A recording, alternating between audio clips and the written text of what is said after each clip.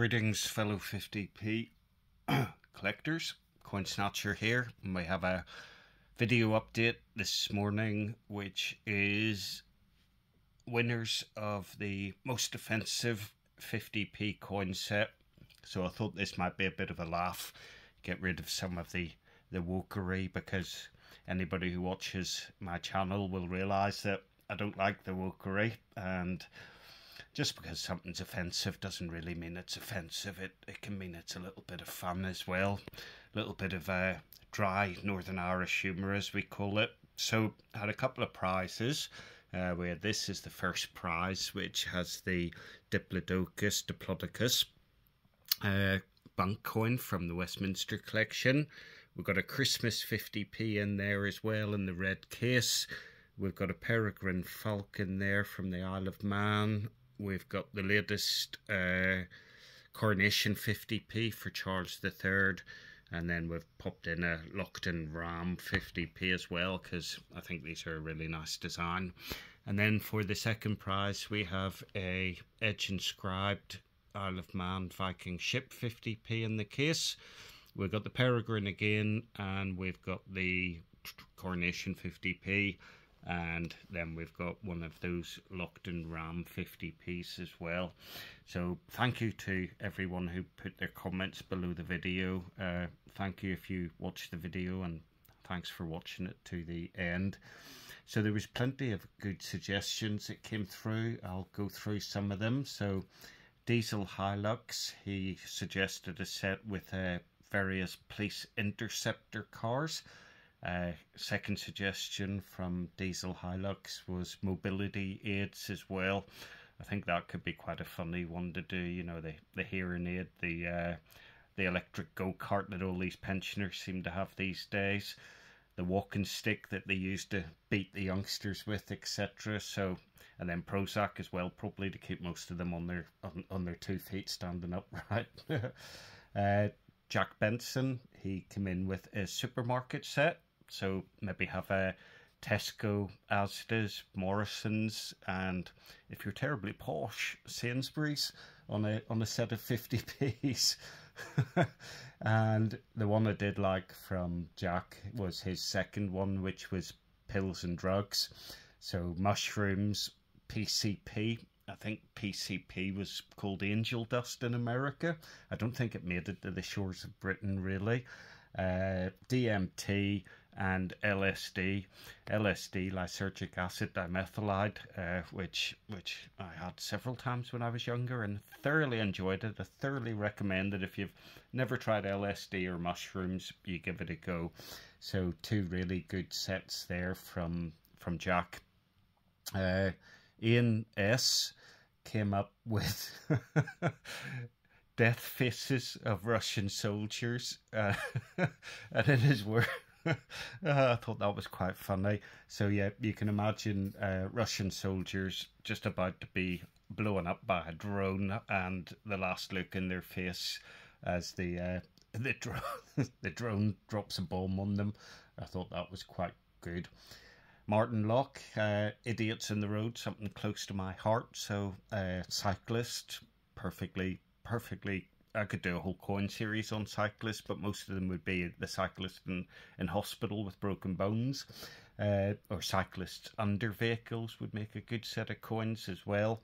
Uh, second one in that little set would be DPD drivers. Again, uh, had this yesterday, for instance, DPD drivers who just think they can stop on double yellow lines or parallel park against other cars and literally just stop all the fucking traffic in the road. I actually beeped at that wanker yesterday and he put his hands up as if to say, What do you want me to do? I put the window down and said, Park in a fucking car park, you can't. Anyway, uh, so yep, uh, and then the other one, horses. So I used to ride horses for a long time myself Generally, I don't have anything against horses. Can't stand fucking horse riding people, though. Used to be one of them myself, which is completely hypocritical. But when I rode horses, used to drive out into the country and do it in a big fucking barn. I wasn't going up and down country roads holding up the innocent motorist as they go about their business. And then the final set in this coin, which uh, might ruffle a few feathers, is women drivers.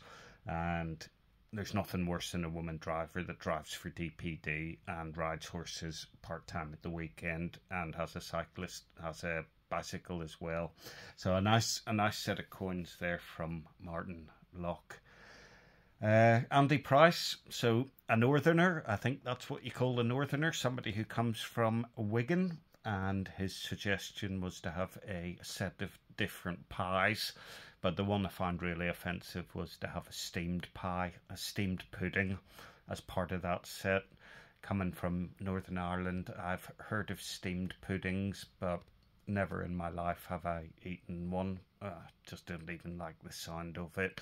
A, it's not a pudding, and B, anything that's been steamed, well, I'd rather have something that was fried than steamed.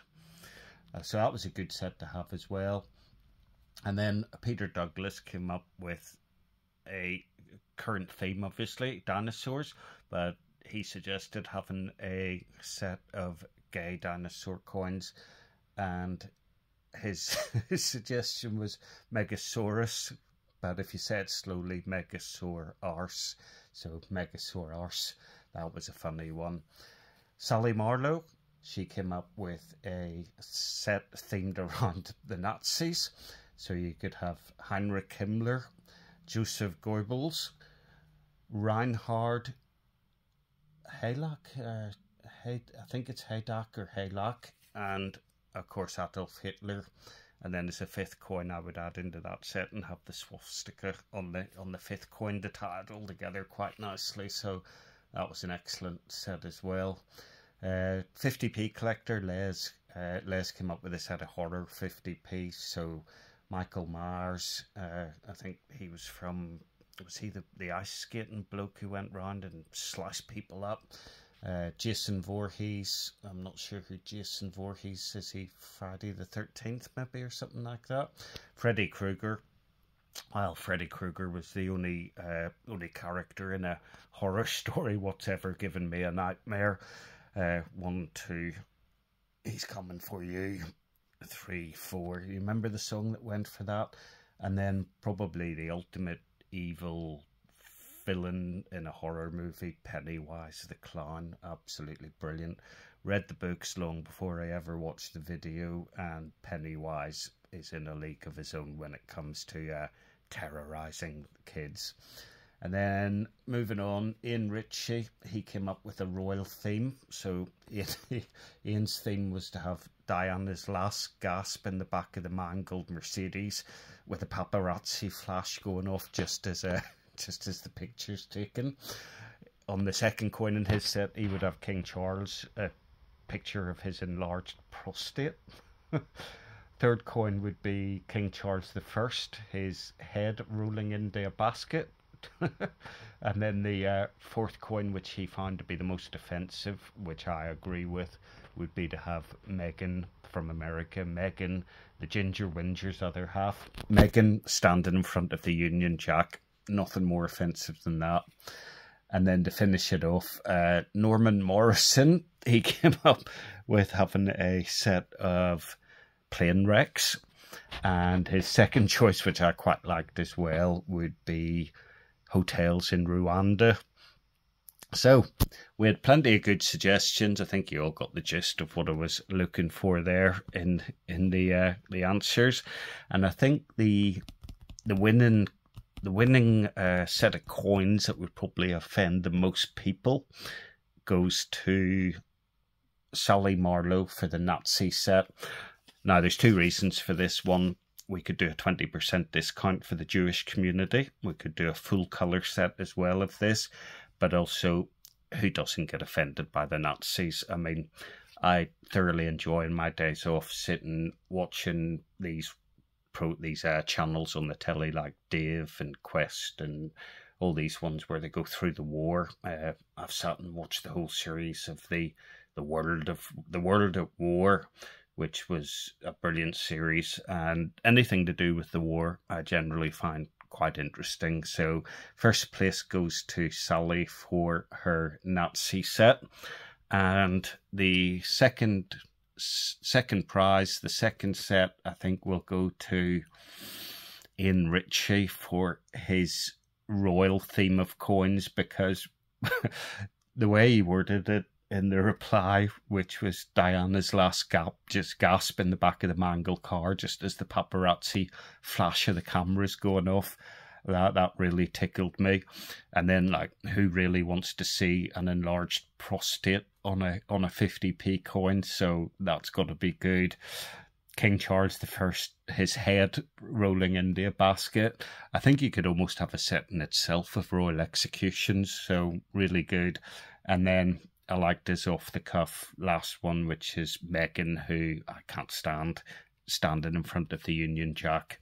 Now, I would just say as well, you call it the Union Jack. It's only the Union Jack when it's on a boat and it's raised. Any other time, it's called the Union flag. So we need people people get that wrong. So there we go. We have first place going to Sally with the the Nazi themed set, and we have the second set going to Ian Ritchie with his royal theme of coins. So I thoroughly enjoyed doing that. That gave me a good laugh. Uh, I was hoping to see there was a few more uh, extreme ones, uh, reference around sexual sexual things, etc. But that wasn't really the the idea of these coins to be rude in that sense. It was more just about uh, what would offend rather than what what was outright rude. Uh, some of the answers I got, I don't even think I would repeat them here. But well done to Sally and well done to Ian. I will pop my email address under this so you folks just uh, drop me an email and we'll take you through the two-step verification process and the one-time passcode and uh, you'll have to sign up for the club card and everything else give me all your details and we'll get those coins posted out to you but a great bit of fun i think we might do this again in the future maybe have to think up something else for a competition but uh, yep thanks to everyone for taking part thanks to all you folks the subscribers thanks for watching the videos.